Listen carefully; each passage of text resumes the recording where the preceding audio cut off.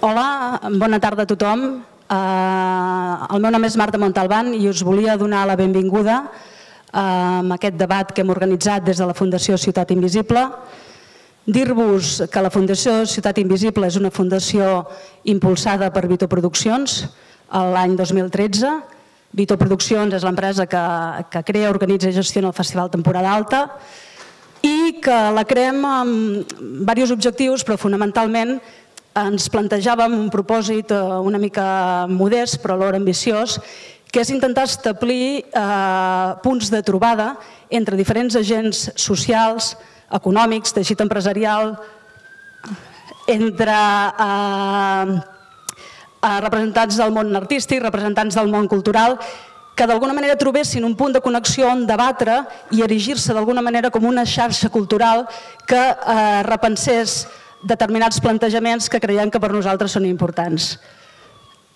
Eh, a partir d'aquí, nosaltres eh, amb aquesta fundació comencem la nostra activitat. Eh, hem creat un projecte que ja té tres anys que, que es diu A Tempo, Arts i Formació, en el qual contextualitzem aquesta jornada. A Tempo Arts i Formació és un programa que precisament vam presentar en premsa el dimarts eh, un petit balanç de tancament i a títol, eh, només de titular dir-vos que l'any passat van passar cap a 6.500 alumnes per aquest programa, més de 650 eh, docents i 90 representants del sector artístic i cultural. Dir que el tret de sortida de la campanya d'aquest any és aquest debat amb el senyor Enric Giroux, que en aquest debat seguirà l'organització d'un seminari que es durà a terme el mes de juliol, precisament aquí a la Mercè, un seminari dirigit a docents i professionals del món de la gestió cultural i que és un seminari que organitzem conjuntament amb Conarte Internacional que aquest any eh, hem doblat les places degut a la demanda de l'any passat que ens va deixar molta gent fora, per tant aquest any ofertem 100 places i que esperem que sigui un èxit com l'han sigut les darreres dues edicions. D'aquest seminari s'us ha donat una petita informació i els que ens heu facilitat el correu electrònic rebreu en els propers dies doncs, alguna informació complementària. Res més, eh, agrair sobretot als col·laboradors de la Fundació la, que ens faran possible eh, dur a terme activitats com aquesta que ens eh, ocupa aquesta tarda, sobretot a la Fundació Banc de Sabadell, que és qui ens permet desenvolupar el projecte a Tempo i que segurament sense ell o no es faria o es podria fer d'una manera molt més diferent. Agrair així mateix a Conarte la col·laboració i la implicació en tots els projectes eh, que portem des de ja fa alguns anyets i a la gent de la Mercè, del Centre Cultural Mercè, que ens acull amb les conferències, jornades i activitats que duem a terme dintre d'aquest programa. Espero que sigui del vostre interès i que ens veiem aviat. Fins la propera.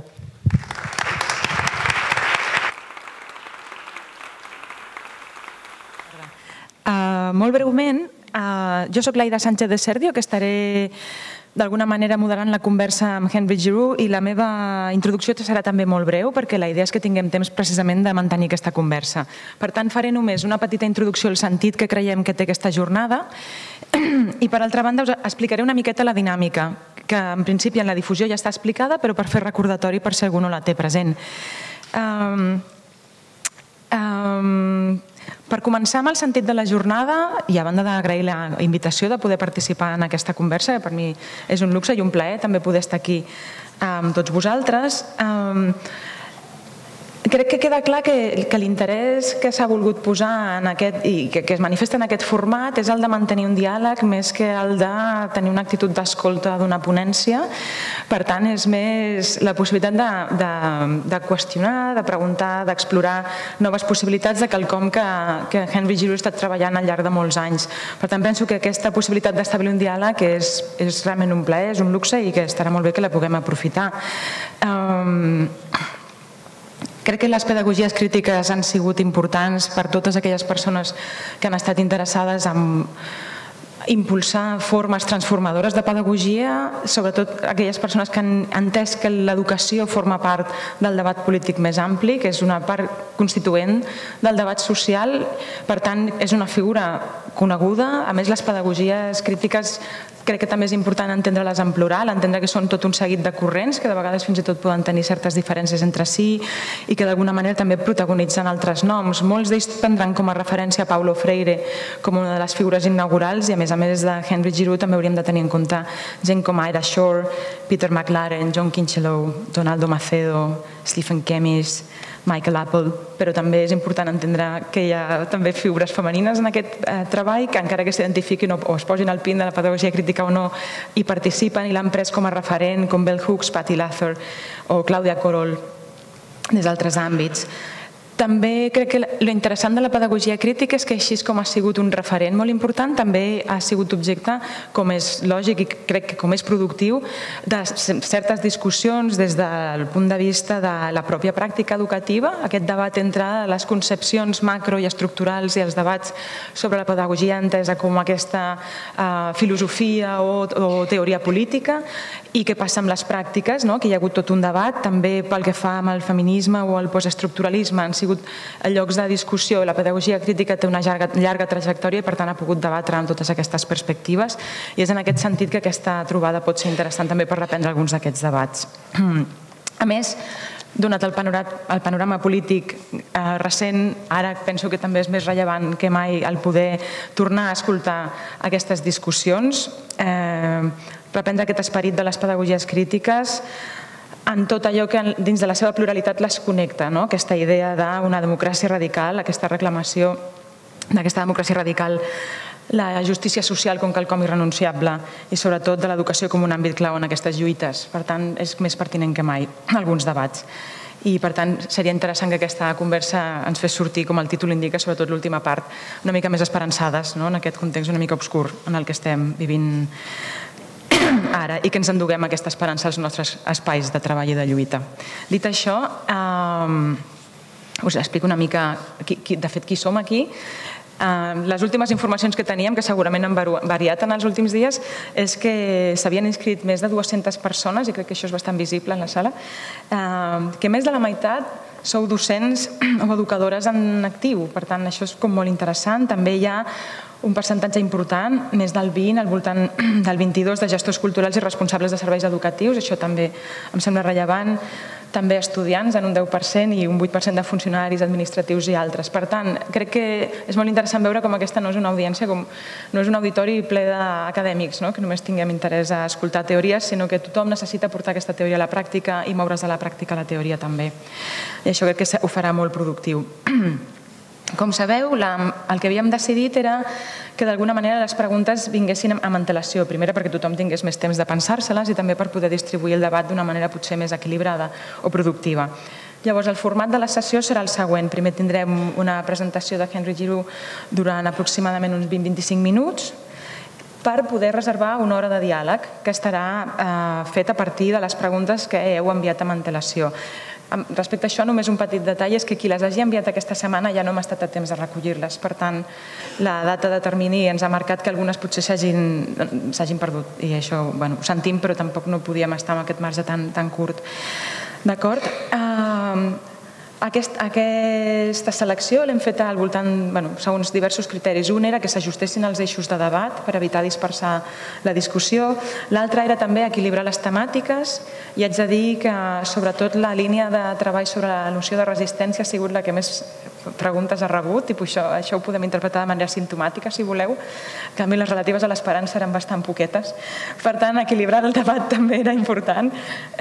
I finalment també hem preferit aquelles que podien obrir debats més nous um, a mantenir amb Henry Giroux. Potser coses que ja ha, estat, treballat abastament potser són preguntes que, que ens hem estalviat en el sentit que n'ha escrit prou i potser es poden recuperar des d'allà. Llavors, potser algunes que o, linkin el, els seus debats amb el context eh, local o del present i, i, i preguntes que portin el debat a un altre lloc. D'acord? Aquestes preguntes estaran fetes en anglès, sobretot per fer més fluid el diàleg. Per tant, li preguntarem en anglès i es funcionarà amb traducció per no haver d'estar esperant mútuament a traduir-se. Serà l'únic moment en què es farà en anglès és per aquest motiu, per fer més fluida la conversa. I la idea és que al final ens quedin tot i així 15 minuts per preguntes obertes, per si algú en té alguna més a aportar o si alguna de les coses discutides l'ha fet pensar alguna altra qüestió que estaria bé plantejar-se. Com sempre, ja sabeu que el temps en aquestes coses va fatal, intentarem que tot i així hi hagi temps per tot i que puguem discutir totes les qüestions que tenim pendents. Llavors, precisament per això mateix no m'allargo més i if you want to come up to the stage, I leave the mic to you. Thank you so much.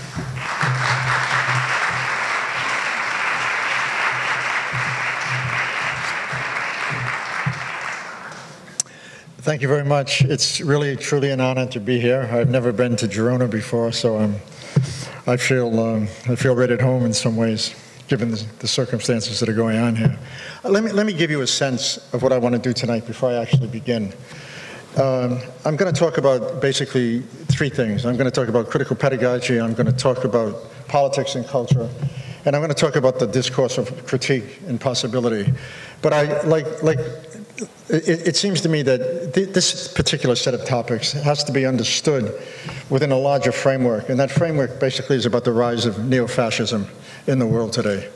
And I think that um, you, you can't separate topics of this sort from that sort of context. So I'm basically going to focus on some of that before I actually allow the, this, these topics to unfold. And of course, I'm also going to talk about Donald Trump, uh, because it seems to me that Donald Trump, is, in some way, is significant, certainly in terms of the rise of neo-fascist movements that are going on all over the world, because he emboldens them to say the very least, and he's very unapologetic about what he's doing. So let me uh, put these things in that context, and then I'll get down to what I want to talk about. Something sinister and horrifying is happening to liberal democracies all over the globe, except for Spain. Democratic institutions such as the independent media, schools, the legal system, certain financial institutions, and higher education are under siege not only, it, it, it, seems to me, in the United States, but of course worldwide. Some of the latest examples can be found with the resurgence in the United States of vigilantes and right-wing militia groups along the southern border and the intrusion of tech-based educational practices into schools, producing curricula that some parents claim turn kids into zombies Trump's continued attack on higher education offers another highly visible example. His proposed 2020 budget request would enact a staggering $7.1 billion reduction in the education department as part of a policy to dismantle the department itself. You have to understand, of course, that Trump seems to believe that any form of thinking that doesn't operate on the side of ignorance operates on the side of angels. At the same time, the promise of democracy is receding as present day fascists work to subvert language, values, courage, vision, and, criti- and, a critical consciousness. Education increasingly becomes a tool of domination as the entrepreneurs of hate deploy right wing pedagogical practices to attack workers, black youth, refugees, immigrants, and others, others that they consider disposable in the midst of a moment when an, old, when an older social order is crumbling and a new one is struggling to define itself, there emerges a time of confusion, danger, and moments of great restlessness. We are once again at an historical conjuncture in which the structures of liberation and authoritarianism are vying over the future. We have arrived at such a moment in which two worlds are pitted against each other and a history of the present is poised at a point when possibilities are either realized or rejected but never disappear completely. Two worlds are colliding. First, as a number of scholars have observed, there is the harsh and crumbling world of neoliberal globalization and its mobilizing passions that fuel different strands of fascism across the globe. Power is now enamored with amassing profits and capital and is increasingly addicted to a politics of white nationalism and racial cleansing. Second, there is a world of counter movements, which is growing, especially among young people, with their search for a new politics in which they can rethink, reclaim, and invent a new understanding of democratic socialism untainted by capitalism. It's hard to imagine a more urgent moment for making education central to politics. If we're going to develop a politics capable of awakening our critical, imaginative, and historical possibilities or sensibilities, it's crucial for educators and others to develop a language of both critique and possibility. Such a language is necessary to enable the conditions to forge a collective international resistance among educators, youth, artists, and other cultural workers in defense of public goods. Such a movement is important in order to resist and overcome the tyrannical fascist nightmares that have descended upon the United States, Brazil, and a number of other countries in Europe plagued by the rise of neo-Nazi parties. In an age of social isolation, information overflow, a culture of immediacy, consumer glut, and spectacularized violence, it's all the more crucial to take seriously the notion that a democracy cannot be defended or exist, or exist without informed, critically engaged citizens. The pedagogical lesson here is that fascism begins with words, hateful words the demonization of others considered disposable, and moves to attack on, and, and moves in an attack on ideas, the burning of books, the disappearance of intellectuals, and the emergence of the carceral state, and the horrors of detention jails and camps. As a form of cultural politics, critical pedagogy promises, provides the promise of a protected space within which again to think against the grain of received opinion a space to question and challenge, to imagine the world from different viewpoints and perspectives, to reflect upon ourselves in relation to others, and in so doing, to understand what it means to assume a sense of political and social responsibility. Education, in both its institutional and symbolic forms, has a central role to play in fighting the resurgence of fascist cultures, mythic historical narratives and the emerging ideologies of white supremacy and white nationalism.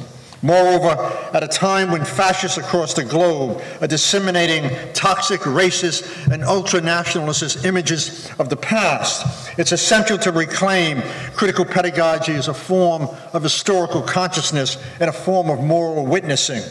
This is especially true at a time when historical and social amnesia have become a national pastime, particularly in the United States, matched only by the masculinization of the public sphere and the increasing normalization of a fascist politics that thrives on ignorance, fear, hatred, social cleansing, the suppression of dissent, and white supremacy.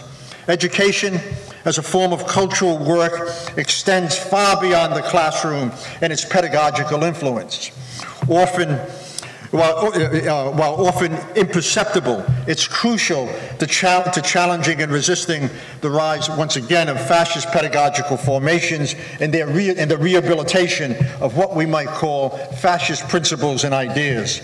Cultural politics in the last 20 years has turned toxic as ruling elites increasingly gain control of the commanding cultural apparatuses, turning them into pedagogical disimagination machines that serve the forces of ethical tranquilization by producing and legitimating endless, degrading, and humiliating images of the poor, immigrants, Muslims, and others considered excess, wasted lives, doomed to terminal exclusion.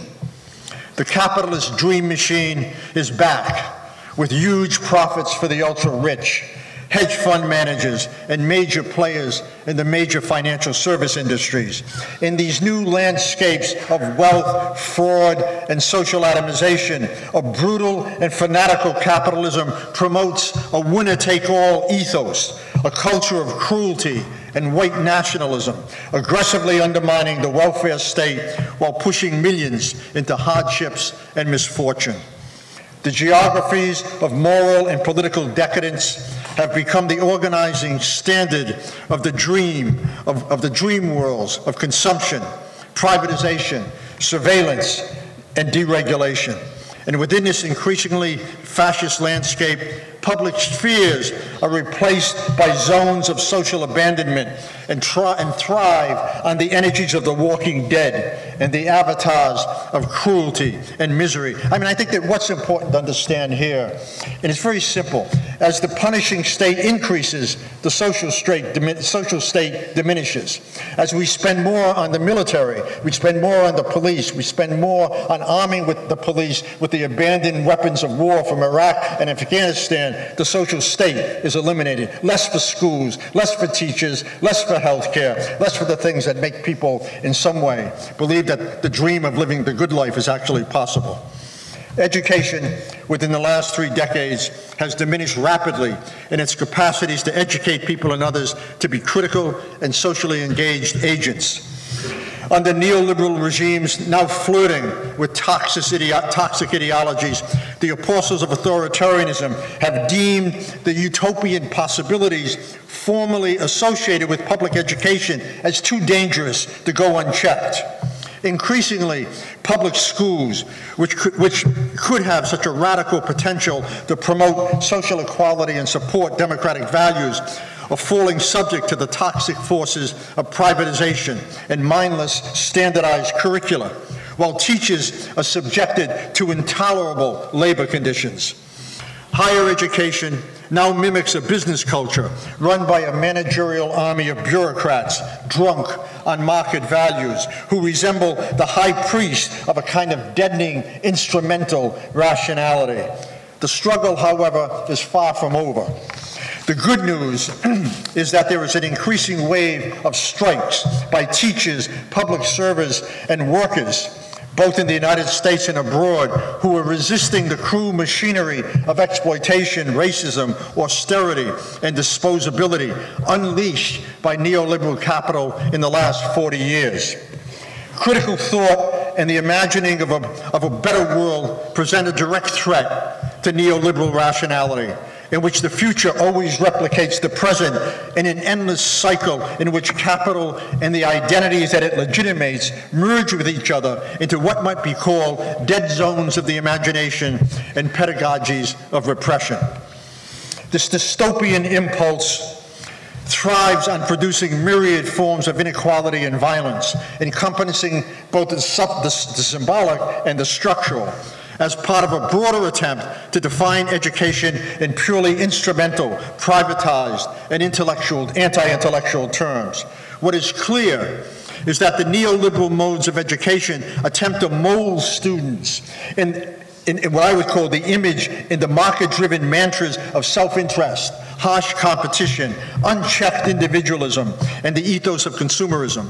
Young people are now told to invest in their careers, pack their resumes, and achieve success at any cost. It's precisely this replacement of educated hope with an aggressive dystopian neoliberal project and cultural politics that now characterizes the current assault on public and higher education in many parts of the globe. And it seems to me it's crucial for educators to remember that language is not just simply the, an instrument of fear, violence, and, and intimidation.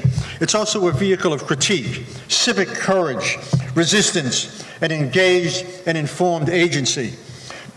we live at a time when the language of democracy has been pillaged, stripped of its promises and hopes, and if racism, if fascism is to be defeated, there is a need to make education an organizing principle of politics. And in part, this can be done with a language that exposes and unravels the falsehoods, the systems of oppression, and corrupt relations of power, while making clear that alternative, an alternative future is possible.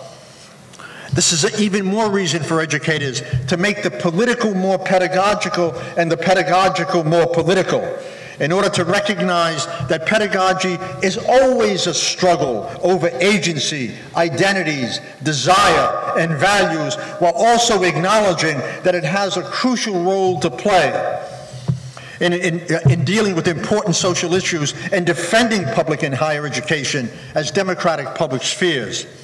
Making the political more pedagogical, in this instance, suggests producing modes of knowledge and social practices that not only affirm oppositional cultural work and pedagogical practices, but also offer opportunities to mobilize instances of collective outrage, coupled with direct mass action against a ruthless casino capitalism and an emerging fascist politics.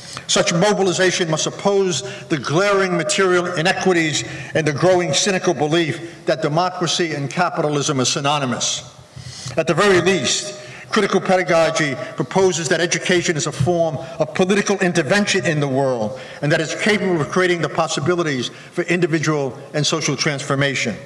Given the current crisis of politics, agency, history, and memory, educators need a new pedagogical and political language for addressing the changing context and issues facing a world in which capital draws on an unprecedented convergence of resources, financial, cultural, political, economic, scientific, military, and technological, to exercise powerful and diverse forms of direct and indirect control.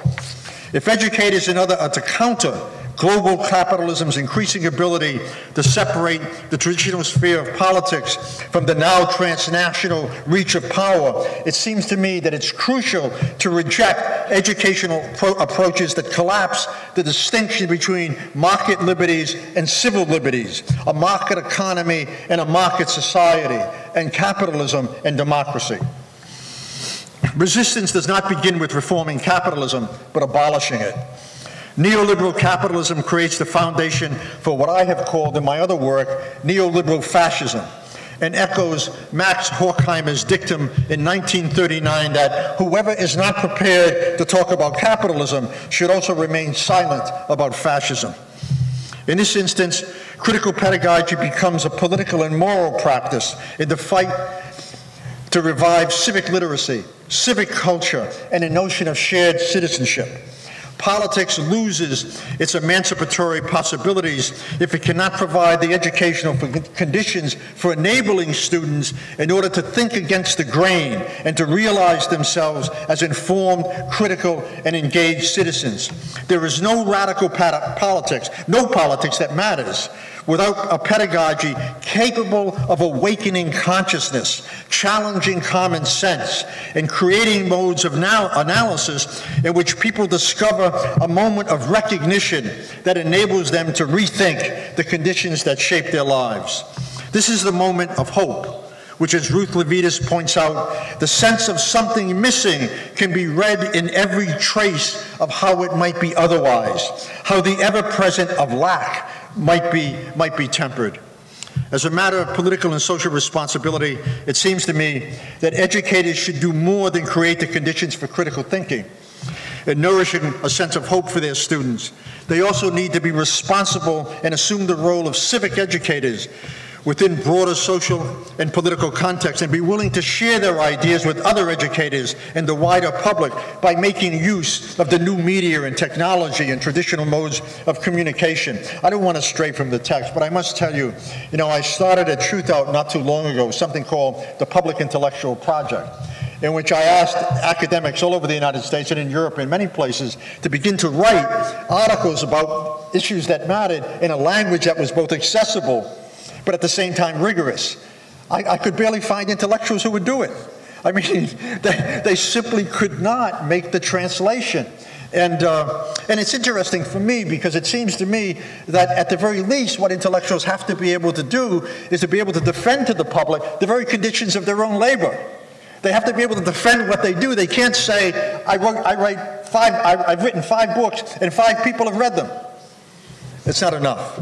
I mean, it seems to me, how do you elevate ideas to the public realm in a way that's both, that doesn't compromise intellectual integrity, that doesn't compromise theory, but at the same time offers a narrative in which people have something to say to other people and which they can recognize themselves in that narrative? What's that moment of identification when people can read something and say, yes, I'm there, I get it, that's part of my life? That changes the way in which the language I use allows me to understand how I relate to myself, others, and, and the wider world. It seems to me that a number of academics and teachers in the current moment have joined forces with right-wing pundits and begin to argue that education should be free of politics. Their falsely shared conclusion is that schools should be neutral places in which matters of power, values, social justice should, be should, should, uh, should not be addressed and should not enter the classroom. This is a very interesting theory. It suggests that teachers should believe in nothing. It suggests that teachers don't have any values, and it suggests that they do have values and they have something to say in the classroom, that the only way they can do that is to indoctrinate students. This is, a, this is an argument that basically confuses education with training. It seems to me that, of course, this view of teaching being neutral or free of politics is as much a flight from reality as it is an instance of irresponsible pedagogy. In contrast, one useful approach to embracing the classroom as a political site while rejecting any form of indoctrination is for educators to think through the distinction between what I want to call a, pol a politicizing pedagogy and a political pedagogy. A politicizing pedagogy insists wrongly that students should think exactly as we do, while a, a, political pedagogy teaches students through informed dialogue and critical engagement about the importance of power, social responsibility, and taking a stand without standing still. Political pedagogy, unlike dogmatic or indoctrinating pedagogy, embodies the principles of dialogue, rigorously engaging students in the full range of the best of historical knowledge and ideas within a framework that ena enables students to move from a moral purpose to a purposeful action in pursuit of thinking through the demands of a strong democracy. I mean, it seems to me if we're going to talk about what, what pedagogy means, we have to begin with something uh, it, at the beginning, and that is that pedagogy is always a struggle over agency. It's always a struggle over what it means for students to be able to narrate themselves within particular relations of power, within particular, uh, it, it seems to me, sets of values, within a particular notion of the future. There is no education that can ignore this, from the books we choose, to the way in which we teach, to the way in which we nurture the capacities for students to be critical thinking. That's a political act. Education is always a struggle about some sense of what the future means. And to deny that is in fact to indoctrinate students by making it appear that what we have to say is not rooted in a particular sense of values, not rooted in a particular sense of agency, not rooted in a particular sense of history. What is important about critical pedagogy, it seems to me, is its emphasis, its emphasis on how responsibility is understood, both as an ethical issue and a strategic act. Responsibility is not only a crucial element in regarding what issues teachers address in the classroom, it's also embodied in their relationship to their colleagues, the students, the parents, and the wider society. Education, it seems to me, operates as a crucial site of power in the modern world. And if teachers are truly concerned about safeguarding education, they're going to have to take seriously how pedagogy functions not just in schools, but in a whole range of apparatuses, both at a, national, at a regional, national, state, and international level. Critical pedagogy has an important role to play in understanding and challenging how power, knowledge, and values are deployed, affirmed, and resisted within and outside traditional discourses and cultural spheres. In the local context, pedagogy becomes an important theoretical tool for understanding the institutional conditions that place constraints on the production of learning, that place constraints on academic labor, that place constraints on social relations and democracy itself. We're not just talking about some neutral sort of uh, prescribed map that you impose on students, on schools, and on teachers. We're talking about how a society understands what education means and what it does to shape that mode of education in a particular way that can be either about the practice of freedom or in some ways can be about the practice of domination. It seems to me that another object, another issue that has to be taken up in this project is that how do we give teachers and students the opportunity to create the conditions for them to, in some way, have some understanding that any language of critique has to be understood as part of the language of hope. And when I talk about hope, I'm not talking about some silly Disney-like sense of hope in which one says, well, we just hope for the better. I'm talking about educated hope. I'm talking about the need to overlook, not to overlook the difficult conditions that both shape schools in the larger social order. Nor is hope in this sense a blueprint removed from specific contexts and struggles. Educated hope provides the basis for dignifying the labor of teachers. It offers up a critical knowledge linked to democratic social change. It affirms shared responsibilities, and it encourages teachers and students to recognize ambivalence and uncertainty as a fundamental dimension of learning. Such hope offers the possibility of thinking beyond the given. As difficult as this task may seem to educators, if not to a larger pub- public, it's a struggle worth waging. In an age of poisonous capitalism and an emerging fascist politics, I would think that educated students and other concerned citizens face the challenge of providing a language that embraces a militant utopianism while constantly being attentive to those forces that seek to turn hope into a new slogan or to punish, or an easy slogan, or to punish those who dare to look beyond the horizons of the given. Fascism breeds cynicism and is the enemy of a militant and social hope. Hope must be tempered by the complex reality of the times and viewed as a project and a condition for providing a collective agency, opposition, a political imagination, and engaged participation. And if I really had to sum this up, I would say without hope, even in the most dire times, there is no possibility for resistance. There is no possibility for struggle. There is no possibility for dissent. Agency is the condition of struggle, and hope is the condition of agency.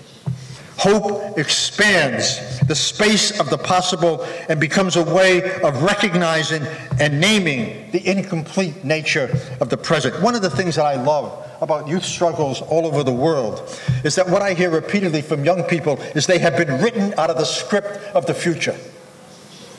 They have been written out. They're now told your lives will be no better, if not worse than your parents. They're now told you're not, it's, it's unacceptable for you to believe in a society very different from the one you live in. It's unacceptable to imagine the unimaginable. It's unacceptable to think otherwise in order to act otherwise. And they don't buy it. Rightly so. Hope, it seems to me, is the affective and intellectual precondition for individual and social struggle. Hope, not despair, is the precondition that encourages critique on the part of intellectuals and cultural workers and artists and concerned citizens and others inside and outside of the academy who use the resources of theory to address important social problems. Hope is the root of civic courage.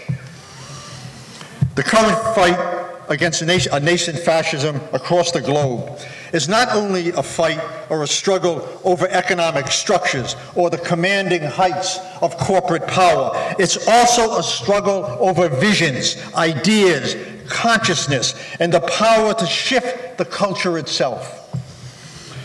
It's also, as Hannah Arendt has said, a struggle against a widespread fear of judging. Without the ability to judge, it becomes impossible to recover words that have meaning. Imagine alternative worlds and a future that does not mimic the dark times in which we live.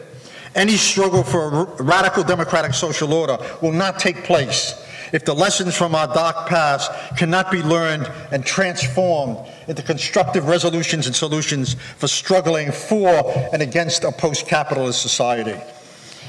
In the end, there is no democracy without informed citizens, and no justice without a language critical of injustice. Democracies begin to fall and to begin to fail. Democracies begin to fail, and political life becomes impoverished in the absence of those vital public spheres, and such as public and higher education, in which civic values, public scholarship, and social engagement allow for a more imaginative grasp of the future that takes seriously the demands of justice, equity, and civic courage. Democracy should be, should be a way of thinking about education, one that thrives on connecting pedagogy to the practice of freedom, learning to ethics, and agency to the imperatives of social responsibility and the public good. In an age of nascent, fasc nascent fascism, it's not enough to connect education with the defense of reason, informed judgment, and critical agency. It must also be aligned with the power and the potential of collective resistance. Moreover, it's crucial that the centrists, the liberals, and the radicals not make cause with those on the right over the idea that classrooms should be free of politics. We may live in dark times, but the future is still open.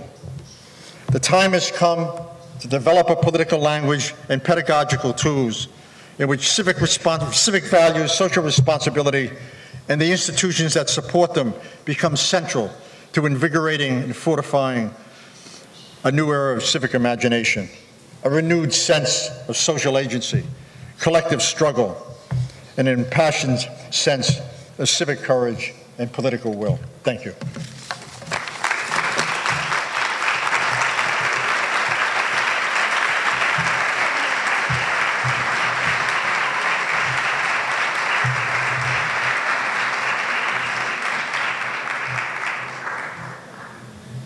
Thank you. Okay. Um, okay, as I said before, this is going to be in English. And uh, what I'm going to do is to share some of the questions from the audience. Also, maybe at the beginning, we'll have some questions also from the organization, or maybe we'll ask you to expand on some ideas that you have shared with us during the talk, but then we have several questions for you. And this is going to be like 45 minutes or 50, so we can have some time at the end. To apologize for talking into a phallic symbol, but there was no other way that, uh, we could arrange it. Okay. Um, there's like three dimensions in this debate. The first one is about critical pedagogy as a form of resistance. This, this, this is a terrible echo. You're echoing. I, I, am, I know, this is a church. Okay. I'm afraid. I'll try, I'll try to, yeah. Okay. The second... Um, what was the first question? No, no, it's like wide fields of debate that we will cover through questions. I'm just reminding it both to ourselves and then the audience. The first one is critical pedagogy as a form of resistance. The second one is social transformation through culture. And the final one is educating for hope. And then we will cover these three areas, and I will mention those clearly so they can change the slide, and it's clearly on screen. So now we have critical pedagogy as a form of resistance. And you've been talking about language as a very important element, and we were discussing before about how language has been somehow kidnapped by certain forces in a way that, for example, allows them to use liberty or freedom in, on the kind of right wing of the political spectrum, and they are the ones talking about freedom of speech, freedom, and so on, in a way that somehow stripped the left from those kind of words. And I wanted to use that uh, discussion about language that you were sharing with us during the talk. By the way, thanks for this wonderful talk. Um, and then move towards this uh, idea of the struggle for language. Language is not something take it for granted, but something that, that involves some struggle, a struggle about hegemony on the discourse. How do we deal with that in a political era like this one? And also, I, want, I wanted you to, if you can, to expand a little bit on this, because I think that this is linked to some very non-rational elements that somehow are not present in the discourse, uh, especially in critical pedagogy. Sometimes the non-rational elements are not so clearly seen, like these desires, fears, and I think that in language, both elements of rationality and non-rationality are colliding in the struggle for hegemony. And I think that now in, in terms of politics and also relating to education, these elements of non-rationality in language are also very present. So how do we do, how do we um, engage in this struggle for social justice, etc., when those words are no longer ours and that they are the object of a, of a very mm, dramatic struggle for the meaning also with a lot of non-rational elements at play. So if you could just talk a little bit about this, and then we move to the questions from the audience, if that's yeah, possible. Yeah. Okay, I, I, uh, I'll, I'll, try to uh, work through a series of points that you've made and in the best way that I can. I, I mean, I, I think that what the struggle of a language and its colonization by the most irrational forces that we can imagine have, has that has taken place in the last 40 years, in some way enters a new phase in the 1970s all over the world. Because what begins to happen is that neoliberalism, which is the most extreme form of capitalism, with the fall of the, of the fall, of course, the Soviet Union and the alleged death of, of socialism, takes on a life of its own. It becomes normalized. And in that language, we, in the, you see this language emerging in, a, in a, very famous marriage. Ronald Reagan married Margaret Thatcher, and they had a child. And that child was called There Is No Alternative. And it, and it seems to me that the most pernicious part of that, that, that marriage and that birth, if I may carry this even further, was that all problems are now individualized, that there's no such thing as under, under, understanding the relationship between private troubles and larger systemic considerations. The social begins to drop out of language. Community begins to drop out of language. Democracy begins to drop out of the language, particularly of the right. And instead of that language, we get the language of, of excessive individualism, radical individual, a, a radicalized individualism, in which all social problems, as I said, are now one has to bear the benefit of those problems by oneself. But we also get a, a, kind of ethos that seems to suggest that we're in a war, a Hobbesian world of a war of, you know, all against all. That self-interest is the highest national ideal. That citizenship is basically about consuming uh, that compassion is a liability, that justice basically is only something that can be used in an advertisement to sell goods, that love has nothing to do with anything except commodities. But, but one of the most pernicious, it seems to me, elements used to strip language of any meaning and to normalize this new sort of crypto, neoliberal, fascist order. And, and trust me when I say to you, I don't use these terms lightly. When I say neoliberal fascism, what I'm saying is that neoliberalism has created conditions of such massive suffering, such massive misery, such massive inequality, such massive hardship, that it creates the grounds for a language of simplicity. It creates the ground of a language of people who claim that they will save you, it creates the ground for mobilizing the needs for some, some, some alternative outside of established corrupt political parties that takes on the romance. It, it, it, to put it in, as Ernst Bloch once said, it deals with very genuine needs, but it offers the swindle of fulfillment. And it seems to me that at the heart of that swindle of fulfillment is the denial of certain inequalities like class, race, gender, uh, and so forth and so on. But there is something about the notion of freedom. Freedom gets perverted in such a way that it becomes very difficult to understand freedom in the larger sense of having to do with the public good. And here's what I mean by that. At the heart of a neoliberal ethic and fascist ethic of freedom, it seems to me, is the notion of choice. You have choices. Everybody has a choice. You have a choice to, to if, you're, if, if, you're walking along one night, you don't know where to sleep, you can go to the Ritz or you can sleep under a bridge. It's nonsense. You know it's nonsense. And I know it's nonsense because choices are defined by constraints. The choices we have are defined by the constraints in which we find ourselves. And in many cases, those constraints, as we well know, are distributed vastly unequal. My father was a worker and a truck driver. And when my father's car broke down, he walked home. Because time was a deprivation for him. Because he didn't have the money to, to call somebody and get it fixed. He was always operating in a mode of survival. So his choices were enormously limited. I have taught in schools where parents basically supplied the money for their kids to have Olympic swimming pools.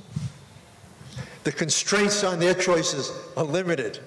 Their sense of the possibility of their agency are limited, is, uh, is limited. Now, what comes along with that notion of choice, particularly for people like myself from the working class is that we not only have less constraint, we have more constraints in able to enact those choices. So freedom becomes a very limited kind of term for us that actually functions in a way to disparage us because it says we don't take advantage of that freedom and therefore we should be defined by our deficits, not our strengths. And so it seems to me that this struggle over language, this appropriation of language, it's really a struggle over agency. It's a struggle over whether or not you can imagine something beyond the future. It's a struggle over courage. It's a struggle over facing the complexities of the world in which we, we find ourselves and not believing the narratives they give us to suggest that we're responsible for the narratives they create. So the struggle over language is important. And, and it seems to me, and I'll end with this. Look, we often talk about learning as what it is we need to learn. But I think actually there's another, there's another dimension to learning that has something to do with the question of language. And that is, what do we need to unlearn? What have we become that we need to get rid of? What are the hidden curriculums that operate under every pedagogical site that are not explicit about what they're doing to us, but are like reality TV, you know, and saying, hey, look, there's only one person left on the island, and that should be you. You know, how do we not mimic those values embedded in their language, which is always a language that often is at odds with questions of freedom and justice and equality? Because it's a language that blames the victims. It's not a language that is self-reflective about the people who have power. Okay, thank you. That was a way to begin to I'm go sorry, into the a bit question. too long. No, it's okay. I, I keep an eye on my watch. Don't. I will make faces. No, it's okay. It's Just tell me to be quiet now. No, it's, it's great. It's, I mean, the idea was to have this dialogue, so let's make, let's use this time. Uh, no problem. I, I will move to the questions from the audience that we received during these days, and I have a, um, a first one, which is maybe not so related to this issue of, of uh, resistance, but it's a more general question on critical pedagogy as a very important trend in pedagogy that has opened so many debates, as I mentioned at the beginning. And it's a very specific question, and I will mostly read, so I kind of respect the writing of the person who sent it, although I had to translate it. And it goes like this. It says, critical pedagogy has had a limited influence on educational practices, whereas the conservative political forces have been able to monopolize the public debate on education. Could it be because critical pedagogy focuses mainly on analysis and critique and not so on analysis and critique. So critical pedagogy, you know that this has been a very uh, um, long debate about, this is more mostly about structures and critique and analysis, and maybe not so much on proposing alternative forms of educational organization, of teaching and learning strategies, curricula, interpersonal personal relations, etc.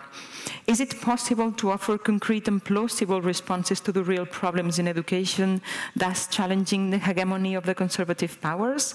And let me mention, I haven't done it before, sorry I forgot, but this question comes from Xavier Besalú Costa, who is a professor of pedagogy at the University of Girona.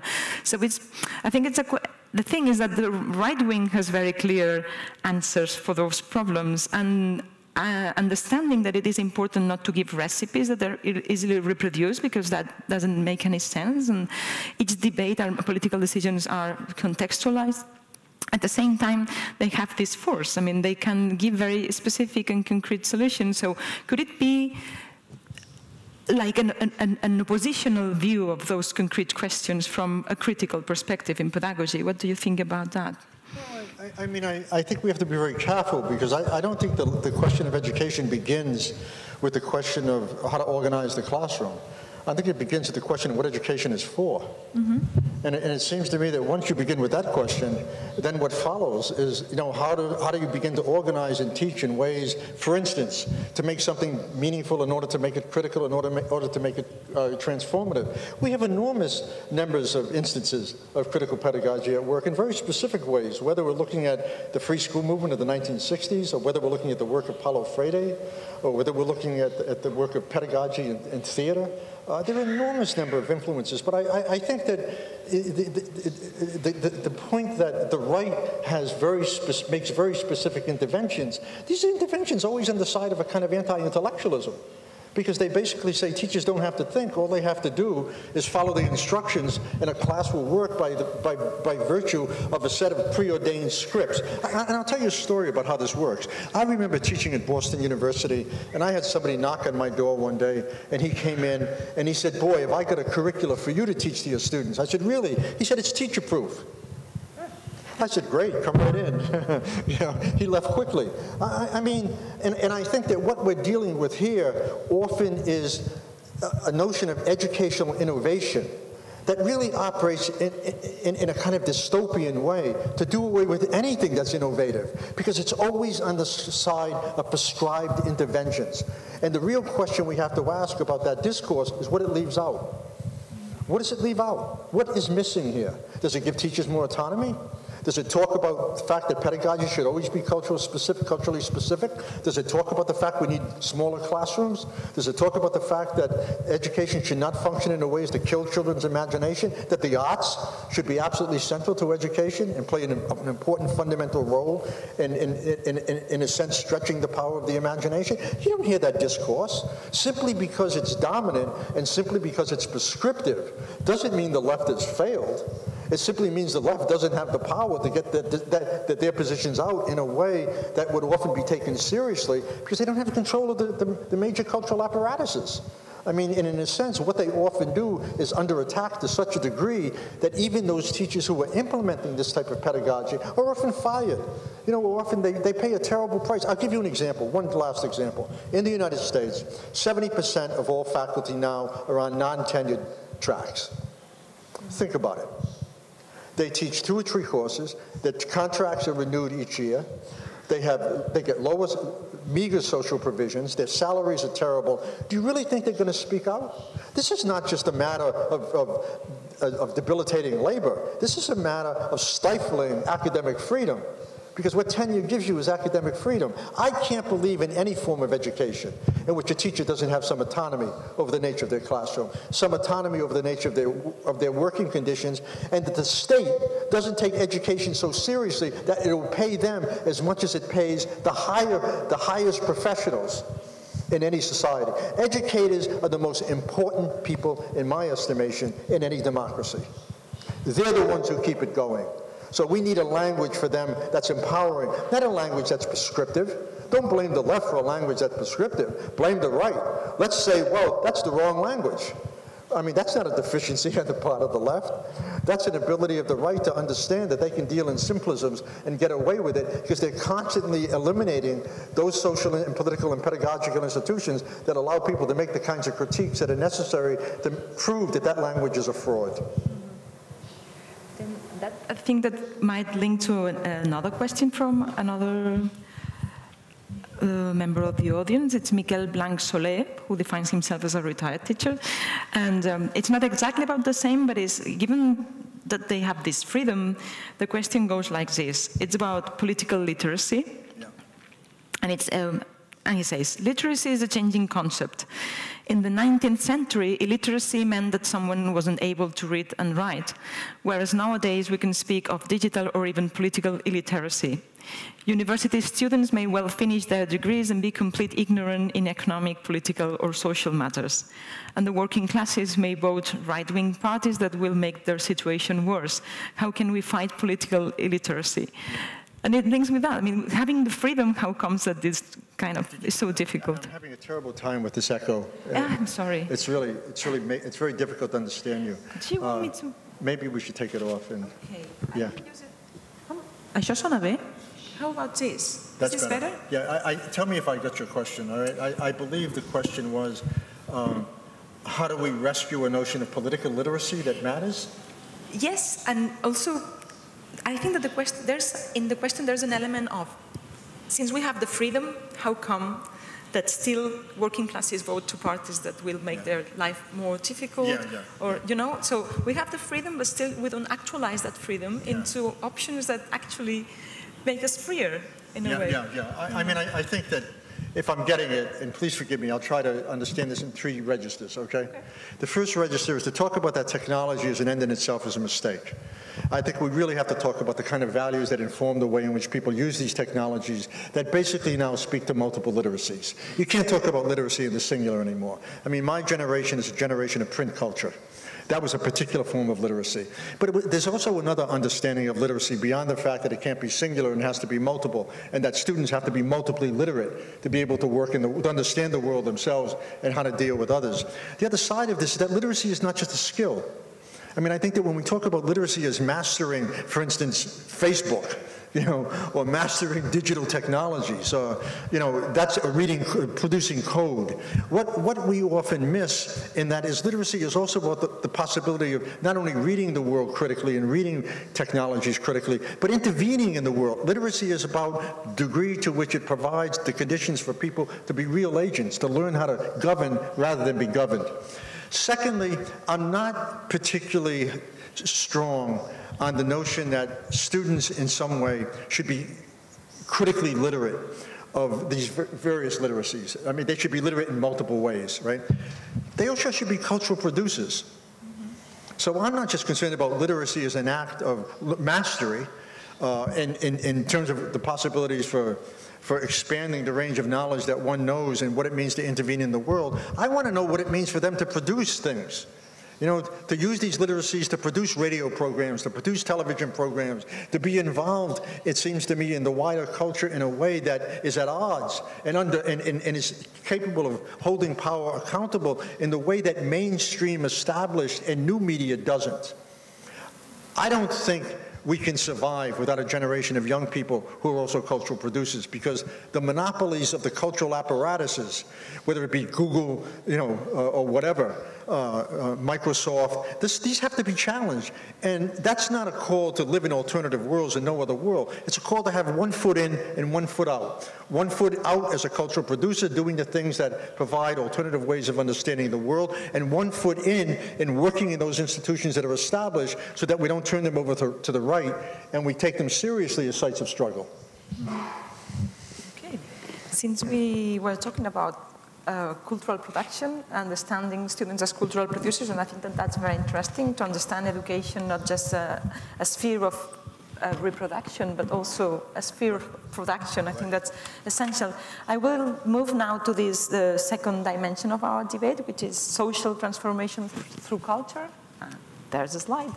Um, so I think it links very well, talking about culture and then moving into this. Right and uh, again, it's more an introduction from the organization, from us, before we move to the questions.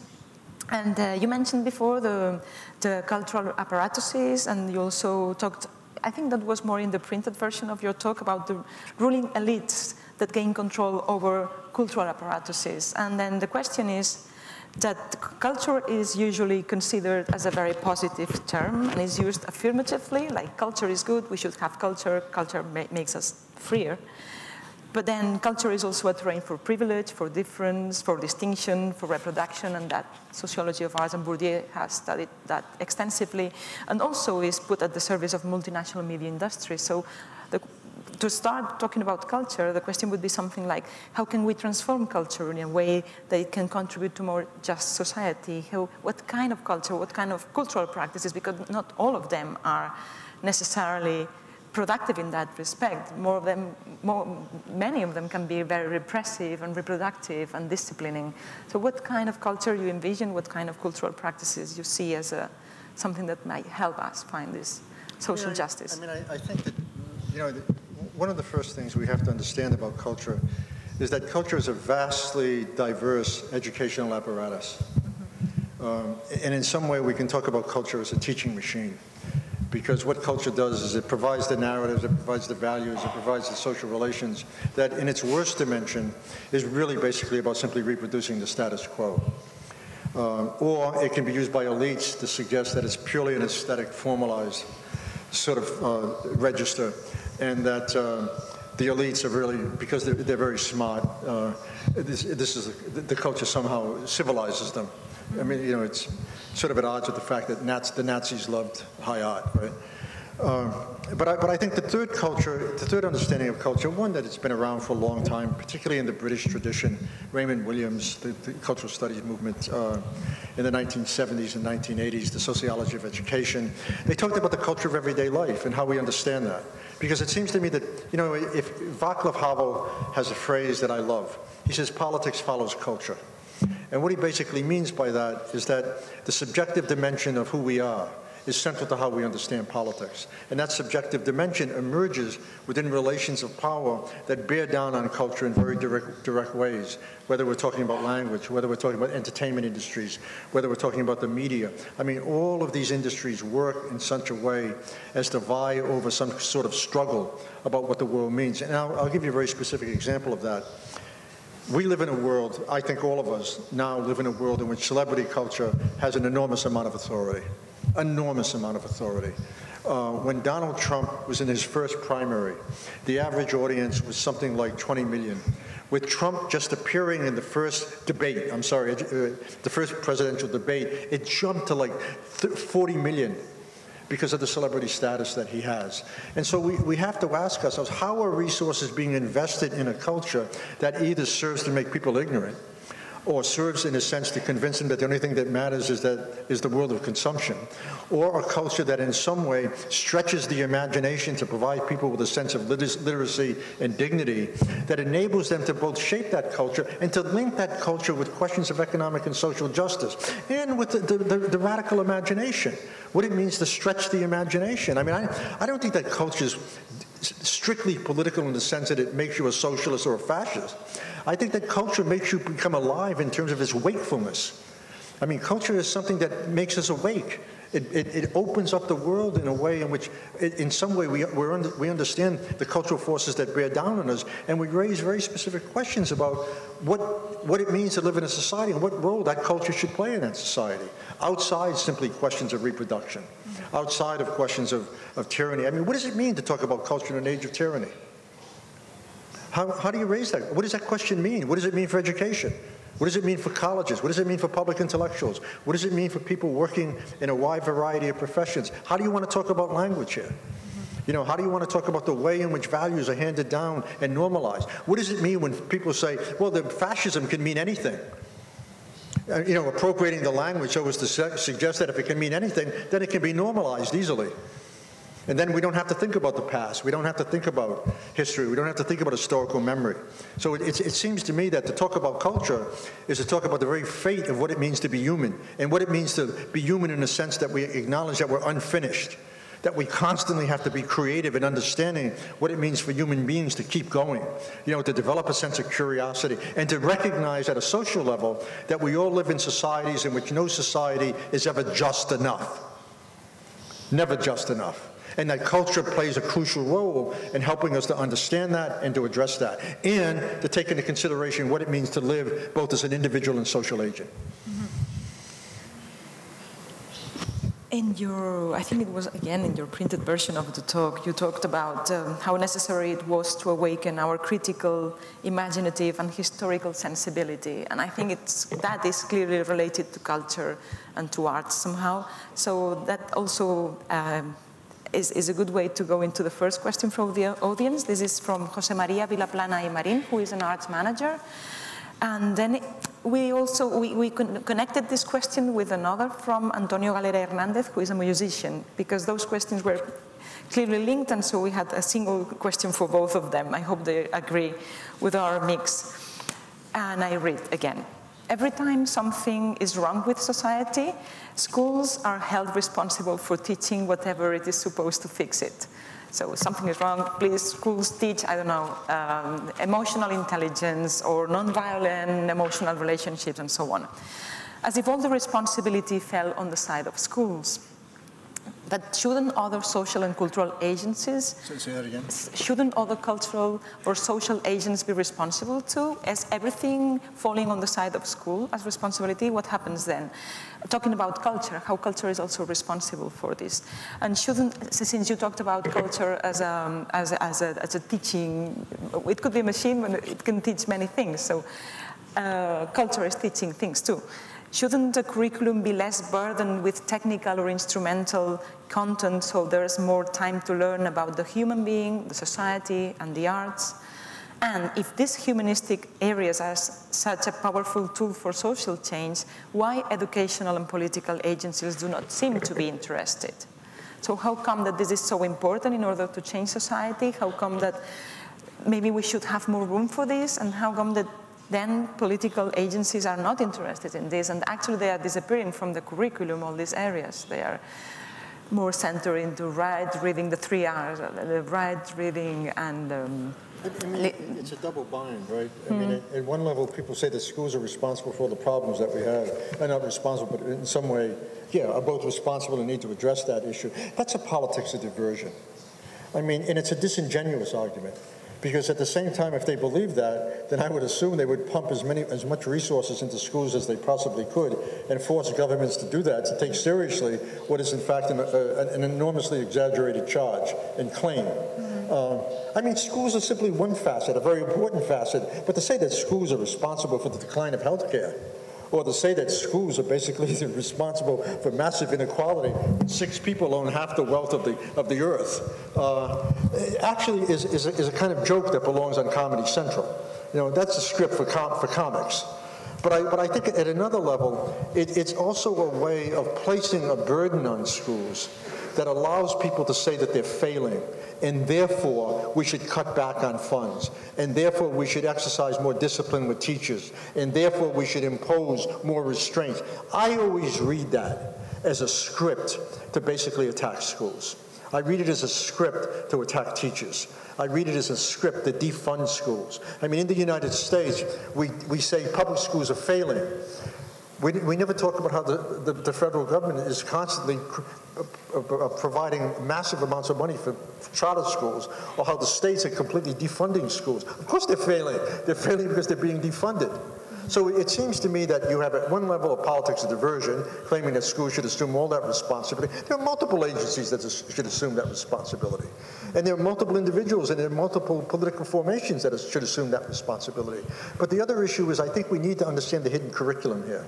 And the hidden curriculum here is that if schools are responsible for everything, then of course that means that they're set up to fail. And if they're set up to fail, then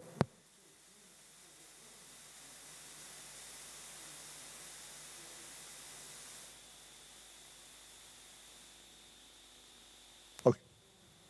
Can you hear me? Is it better? Yeah. Okay. Can you say the last sentence? Yeah. I, okay. I, and then. yeah. I. I, I, I yeah. I'll, I'll, sorry. I'll, I'll, repeat that. I think that people who claim that schools bear the burden of solving all the problems. Are you- Okay. Yeah. Schools that, schools that bear the, bear the burden of claiming that, I mean, I'm, yeah, when schools bear the burden of the argument, they're responsible, that's going on. Is it something? Know what, is there Are you something else? turning it off without noticing, maybe? Oh, there's another one.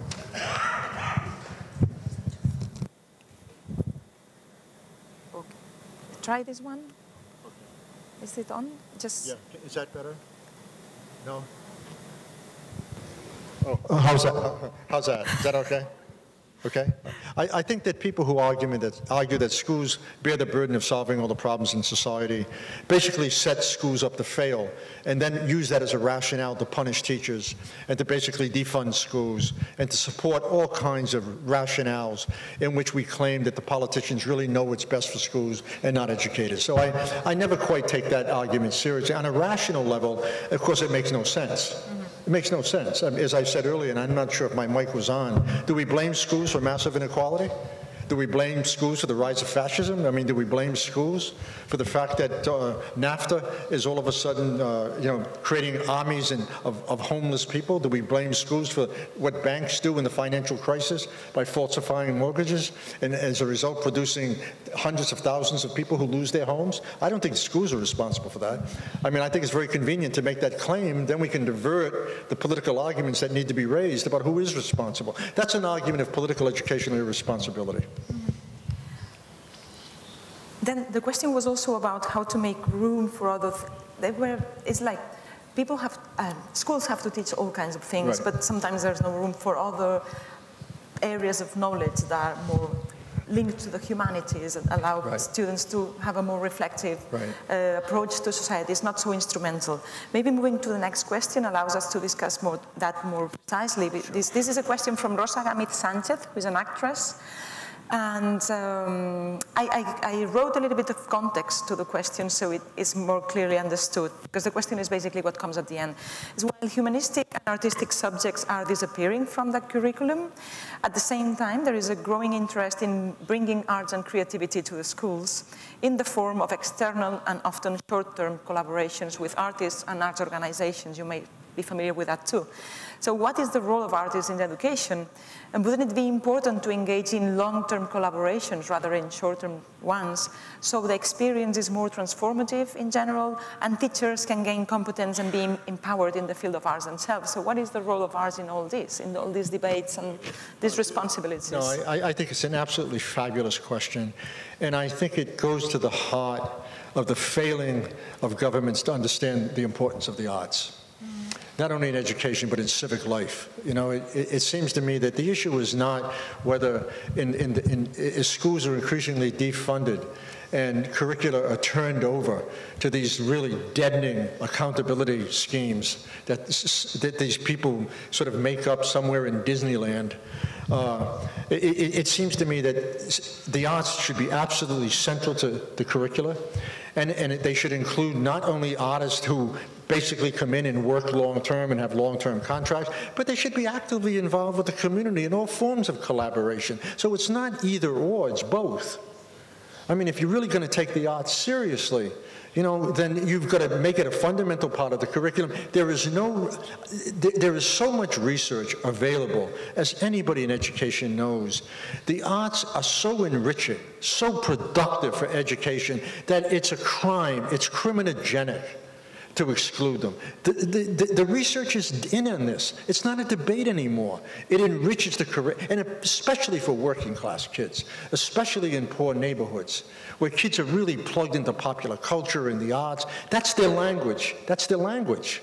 Then not give them an opportunity to use that language and to have role models of people who basically are in the arts doing wonderful things and also working with teachers to expand their possibilities pedagogically in terms of what they should do. I mean, it's one of the great crimes in the assault against education. It's one of the great crimes is, is the elimination of the arts or reducing the arts to some externality in which people meet an artist once a year, you know, or maybe once every two months. Uh, it's a great question, and it seems to me that any educational system that fails to incorporate that fails in general.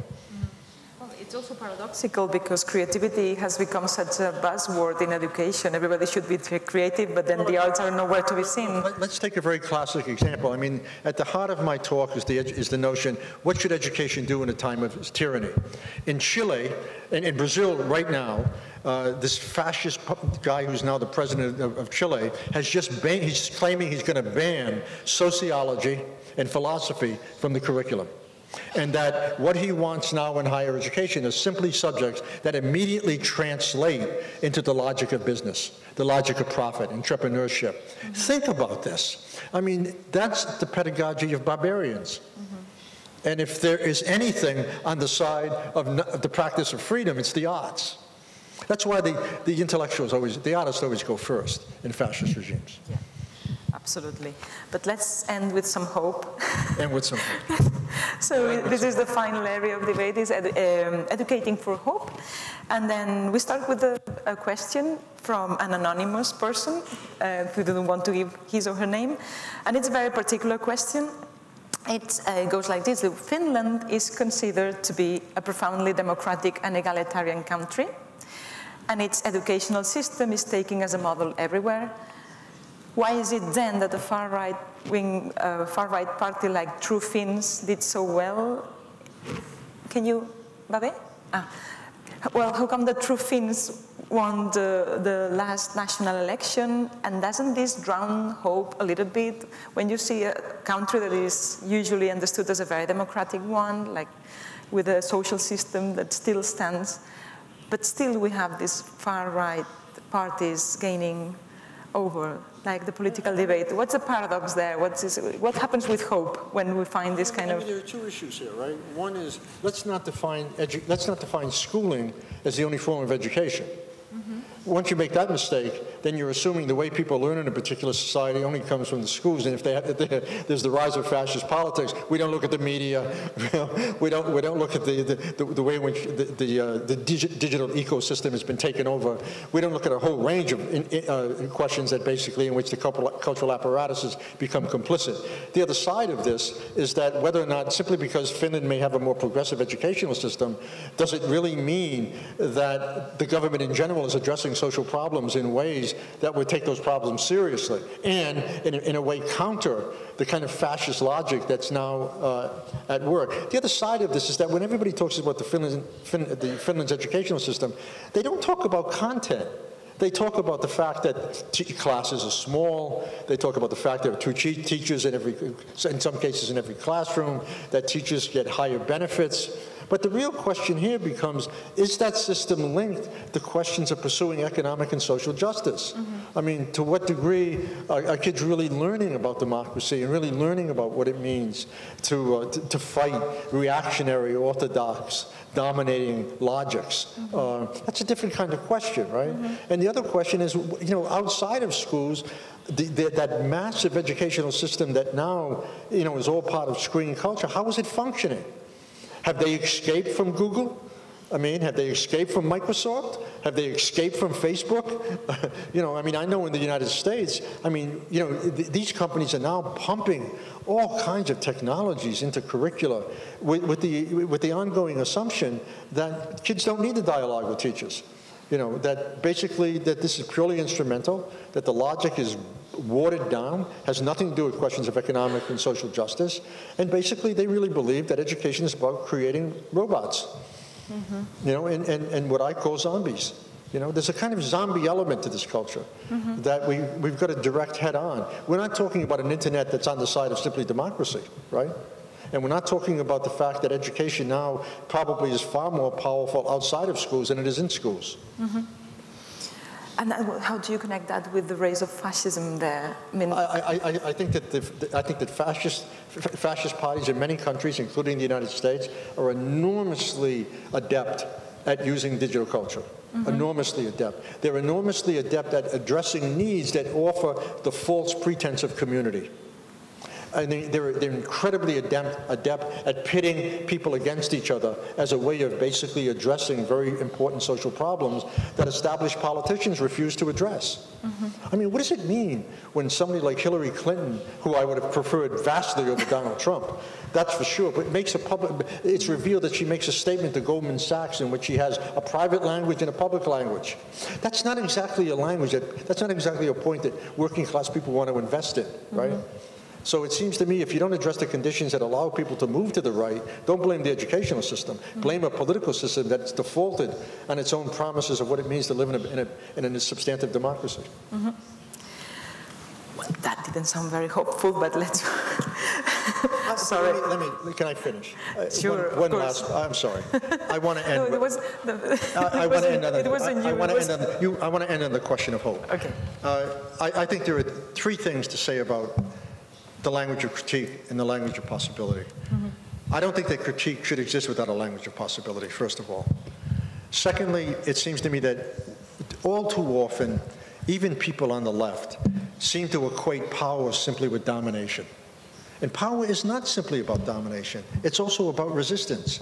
It's also about collective struggle. Thirdly, I, I, think we need to become aware of the fact that the, the struggles that are often taking place that are very powerful are very important, um, speak to enormous possibilities for how the future should be defined and battled against, never make the established media. You know, what we hear about, we hear about the right, we hear about established politicians, but we don't hear about the Black Lives Movement. I mean, we don't hear about uh, women in, in the red states organizing for democratic socialism. And whenever those terms are even mentioned, they're always done pejoratively. You know, I mean, when we talk about Venezuela, we always refer to the leader of Venezuela as a dictator. We don't talk about a guy who's trying to usurp power in, in Venezuela as, as, as a, you know, a, radical insurgent who basically is trying to overthrow the state. I mean, so language matters. And it, and it seems to me that what we need to understand about the language of hope is that the language of hope is always beneath the surface. You know, it, it's never really on the surface in established societies, and we need to redeem it and bring it to the surface mm-hmm. and make it palpable and make it important and connect it with what I would call the desire for a better world. So let, uh, this is going to be the final question before we go to the move to, I think we still have some time for open questions. Okay, the final one is about the conditions for this hope and this possibility. Um, that is something that concern, we've been thinking about about it because it's something that is very present in our political lives. It's about um, how to create solidarity among different groups and communities um, because it is difficult in an area of these reinforced identities and inequalities and sometimes inequalities formulated in the debate in terms of identity. So we have this struggle of identities that suffer different ways of oppression. So how do we so we have to understand that race and gender and class and ability and etc. weave in complex dynamics of, uh, of privilege and exclusion. So how can we build alliances and relations of solidarity among groups without ignoring the existing conditions of inequality, privilege and exclusion? And that, for example, has been very visible in the feminist movement when we try to, to create alliances with uh, um, with uh, women of African descent, and it has been very difficult because we, are, we come from this uh, European feminism based on privilege as white women. So how do we build alliances to create I this think new? There are three issues here. I, I mean, I, Great. I, I, think there are three issues. I mean, I think that at one level, we need to be grateful for the fact that what, what a, a, a viable politics of identity does is it expands and makes us aware of forms of oppression that we often haven't been aware of in the past whether we're talking about gay rights or we're talking about a whole range of things. And that has to be applauded.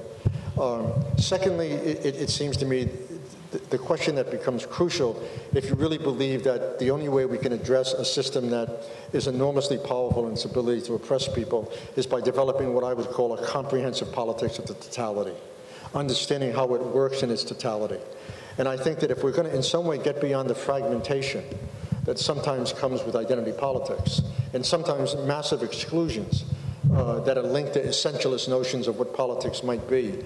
We have to understand the threads that run through these various forms of oppression that in fact connect them. And connect them in a way that both affirm the oppressions in their specificity, but also recognize the limits of what that might mean in developing a comprehensive political social formation in which these various groups can come together and be able to form a third party or be able to form a political formation that represents a massive social movement. And I, and I think in some, in some cases, uh, we, we have to begin to link these questions of identity with, with questions of economic deprivation and connect them to people's lives in ways that uh, people can both recognize the forms of identity that, that, that, people are arguing in their specific ways, but also the very forms of suffering and, and lack of privilege. You know, it's, it's very difficult to talk to working class white males who, who don't have a job and to say, you're white and therefore you're privileged right? I mean, privilege comes in many forms, right? And, and, in some cases, when you're battling just to survive, that the notion that privilege is something you should be ashamed of seems to operate more as less as a politics of enlightenment than as a pedagogy of shaming.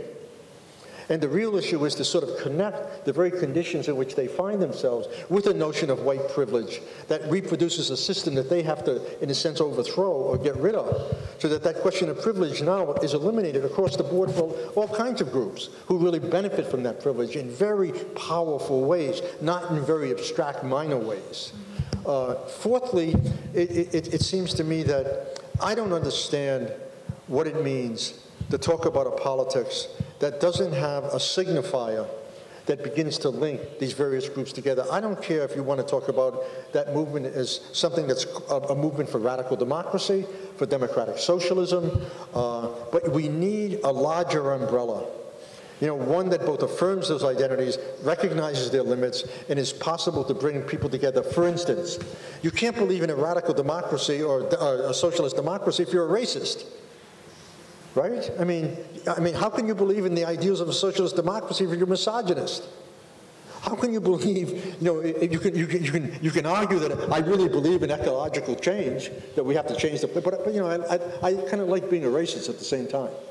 So it seems to me that these are very complex issues that we have to begin to mediate so we understand what the limits of those notions of identity, their strengths, and at the same time, the absolute need to overcome the fragmentation. Fragmentation kills because it withers the possibility for a, a, comprehensive analysis. I mean, when we look at, at fascism in the 1930s and the 40s, and we look at the Frankfurt School and those critical theorists, those really massively intelligent individuals who came, Rosa Luxemburg, I mean, even before that, then Adorno and Horkheimer, they understood one thing. You had to understand that system in its totality. You had to understand the connections. I don't know what it means to talk about domination if you don't understand history. I don't know what it means if you can't, can't connect the dots. You know, you can't, for instance, to give you an example, people say schools are failing. How, what does that mean if you can't talk about neoliberalism and massive inequality? Doesn't make sense. Fair enough, right? I mean, how do you talk about Trump as a racist if you can't talk about the history of racism in the United States? Or you can't talk about the rise of the punishing state and the rise of the carceral state. These are all connected issues. And unfortunately, it seems to me we're more we seem more intent sometimes on identifying very specific elements in that chain of equivalencies of oppression than we do in bringing them together and understanding how they work to reinforce each other. Thank you. Well, I think that hope is there, but it's not going to be easy. But of course not. So now we have some time for questions from the floor. Si teniu alguna pregunta Tenim uns minuts, que era la idea, els hem pogut preservar una mica justos, però sí que els tenim i val la pena aprofitar si creieu que hi ha alguna qüestió que no s'ha tractat. Um, I mentre van fluint les idees i circulant els micros, faig un moment una pregunta a Giroud. Uh, do you want to use the translating? No, I'll have you translate. You translate. Do you prefer that? Yeah.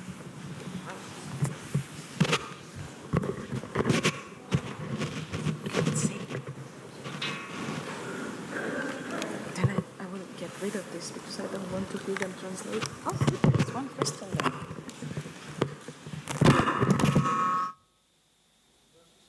No sé si ha estat un error, però a principi del seu, de la seva exposició m'ha semblat que deia que hi havia com una mena de crisi eh, global a nivell de les democràcies, però he sentit la paraula excepte Espanya. I, i si d'un error de traducció o, o li hem d'explicar el que està passant aquí? Sí, jo, jo crec que sí, que tots hem fet així, no? Que...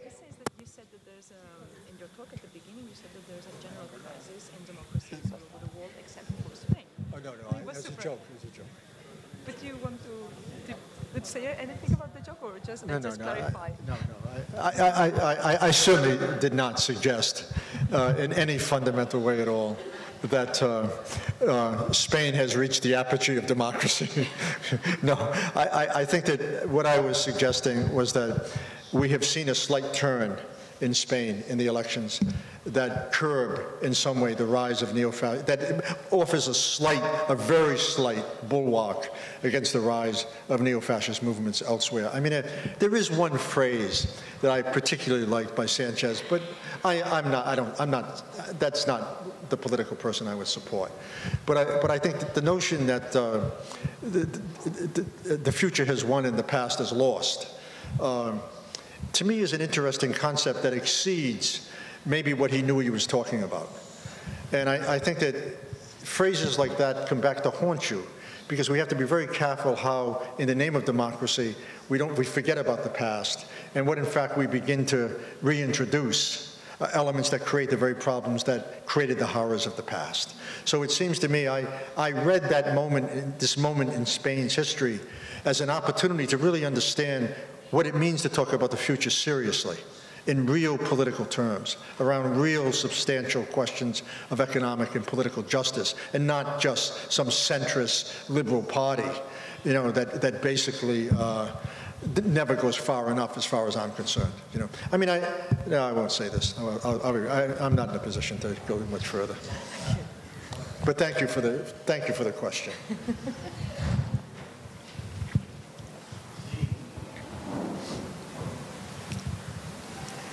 La faig en català i em tradueixes, que ho, que ho fas molt bé tu. Dic que la faig en català i em tradueixes. Um, ha parlat de, de la necessitat d'un paraigües global no? que ens permeti afrontar els reptes que ens uneixen en aquesta diversitat. No? Um, sé que quan es fa referència als drets humans sovint es critica que és una declaració occidental amb moltes problemàtiques, però m'agradaria preguntar-li no tenim altra cosa en aquests moments com a paraigües global mm, que no siguin els drets humans. Què en pensa? Okay, you mentioned with the last question you talked about these umbrella notions or struggles that can connect different groups, so there's no fragmentation. And then she's asking that although it has been criticized widely, human rights seems to be like the human rights with, with capital Human H, rights, yeah. The human rights are like the only thing that we have in common, although she understands that is in terms of Western hegemony deeply problematic. So what do you think about that? Is human rights an umbrella enough? In, that is useful in this case, or should yeah. we move towards other notions beyond human rights? I, I, yeah, it, it's, it's a wonderful question. Uh, thank you for that. I, I, I, I think there are two things to say about that question. I mean, I think that at one level, we need to understand how human rights is sometimes a cover, a, a really dreadful cover for the worst forms of oppression. Um, dominant societies always like to believe that they're exceptional and therefore, in the name of human rights, actually produce the opposite. Uh, for me, I, I would like to deconstruct that term in ways that suggest the merging of three categories uh, political rights, individual rights, and social rights. Because it seems to me if you're going to talk about rights, political rights and individual rights tend to become meaningless unless we have economic rights. Meaning that unless we provide social rights in which people have the right to eat, have the right to decent housing, have the right to live, you know, have the right to exercise some kind of agency, then that notion of human rights becomes utterly problematic for me. And if you're going to talk about those three rights mutually informing each other, how can you be, what does political rights mean when you're starving? What, is it, what do individual rights mean?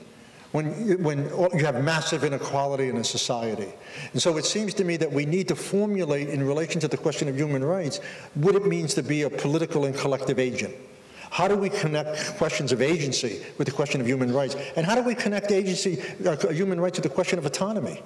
How do we do that? How do we begin to talk about that in ways that can bypass and examine very carefully the, the reach of, of, of, for instance, the power of the United States to appropriate that language uh, uh, you know, in the name of NATO, you know, or in the name of thousands of military bases all over the world, or in the name of invasions uh, of various countries, and to actually claim this is, I mean, when you listen to a guy like Mike Pompeo, the Secretary of State of the United States, you want to shoot yourself.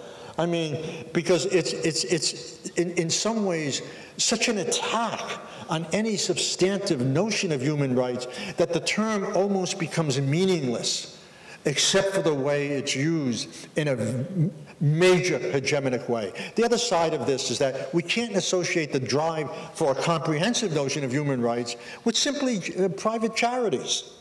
You know, we, we can't say that, you know, this, this is, this is the, an obligation of people in private industries or private charities or NGOs or private groups. This is a political question on a global level, and it has to be taken up by governments dedicated to questions of economic and social justice.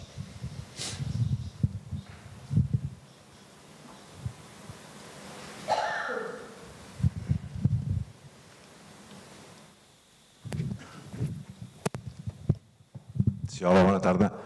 Eh, bueno, la meva pregunta és fent una reflexió al que comentava ella a la, a la seva primera exposició, eh, que durava 20-25 minuts, i en les seves frases eh, hi havia dos conceptes que apareixien molt sovint, capitalisme, feixisme, feixisme, capitalisme.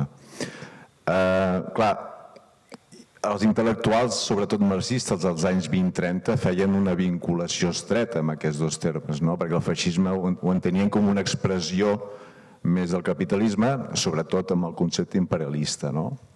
Vull entendre que ell d'alguna manera ho vincula, no? i si realment aquest element de resistència eh, ha de ser eficaç, si des del punt de vista pedagògic seria molt interessant explicar què és el capitalisme i si, el, i si realment el feixisme és una expressió del capitalisme. Per tant, potser seria dient explicar a la gent no pas la conseqüència, és a dir, el feixisme, sinó l'origen, el capitalisme. Aleshores seria un element, un context que tothom entendria i saber doncs, eh, la naturalesa del capitalisme, l'evolució i si realment el que actualment els dogmàtics diuen que és capitalisme ha deixat de ser capitalisme i és doncs, neoliberalisme, etc etc. Perdona? Per assegurar-me que ho traduiré bé, entenc que el que estàs plantejant és que, a banda del background aquest històric, que també li traduiré, és si no seria interessant incloure en, a, en a, les o sigui, si ell, ell personalment, per exemple, eh, perquè en la seva exposició a, apareixien les, fra, les paraules sí, sí, sí, capitalisme. això ho entès. Però entenc que... Si ell, si ell entén que el feixisme eh, és una conseqüència del capitalisme, i si per tant si és així, si per dur a terme aquesta resistència al neoliberalisme al segle XXI, etc etc, seria molt interessant explicar que el feixisme és una conseqüència i explicar, per una altra banda, des d'un punt de vista de context general, què és el capitalisme. Això a les escoles, entenc, en els contextos Perdona? educatius, No, no, en general. en general. És a dir, per exemple, eh, aquesta reflexió que, que faig ara jo de vincular el feixisme amb el capitalisme, si és una cosa que la gent estaria actualment eh, disposat a acceptar. D'acord. this connection between capitalism and fascism that you indicated, it was, very often made in the 30s by those intellectuals. And uh, this question is basically, do you think that this connection is also so clear in the present time and wouldn't it be important to, to make more obvious this connection and maybe talk more about capitalism and how it is the origin of fascism? Because sometimes when we talk about fascism, we talk about the origins, but it's also very important. Yeah, uh, I, I think that's an, an incredibly important question. Um, and it's not one I explored in the talk, but it's one that I explore a lot in at least my last three books. Um, I, I think actually capitalism in the present moment in its extreme form of what we might call neoliberal global capitalism is far more powerful than anything we have seen in the past. The misery that it produces is much greater. And I think at the same time, its ability to normalize itself and make it appear as if it's the only ideology that's acceptable is more powerful than at any time we have seen in the past. Because in the past, the, the, the economic crisis was matched, in a sense, by a crisis of ideas. Today, the economic crisis is not matched by a crisis of ideas. And it seems to me it's precisely at that moment in the inability to translate the link between the conditions that neoliberal capitalism is producing all over the world, in advanced and in non-advanced, allegedly, countries. That link is not being made. So we talk about fascism as simply something on the margins. We talk about fascism as simply something coming out of nowhere.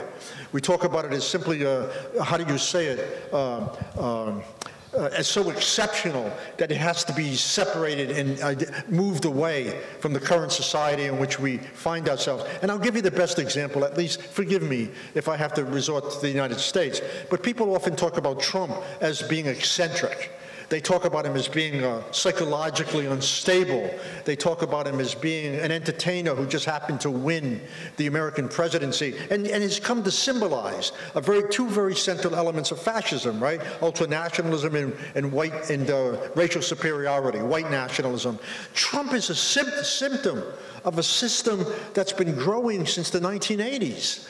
Whether you want to talk about you want to talk about NAFTA, you want to talk about the eradication of social goods, the rise of the punishing state, the replacement of a market economy by a market society, the massive inequality, the enormous suffering, the increase in the militarization of everyday life, the masculinization of the public sphere.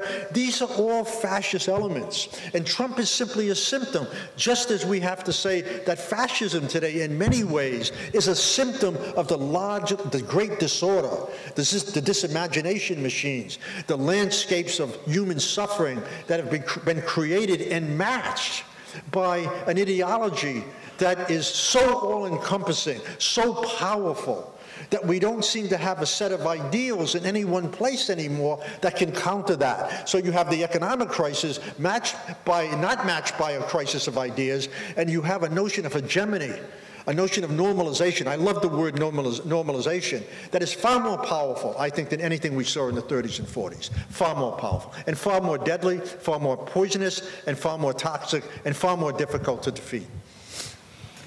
Thank you. I think that that's the time we have because we have to leave the premises. And but thank you very much for engaging in this conversation. Very generous of you, and we have enjoyed it very much. Thank you.